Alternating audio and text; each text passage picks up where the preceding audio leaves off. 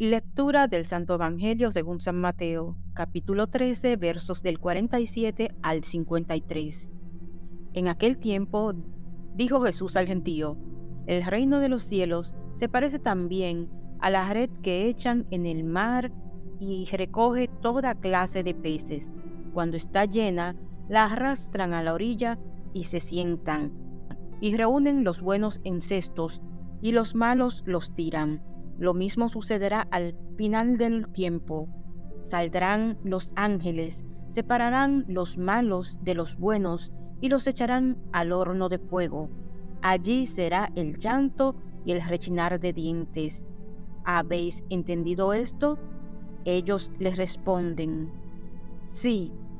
Él les dijo, pues bien, un escriba que se ha hecho discípulo del reino de los cielos es como un padre de familia que va sacando de su tesoro lo nuevo y lo antiguo.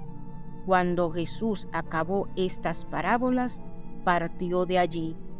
Palabra de Dios, gloria a ti, Señor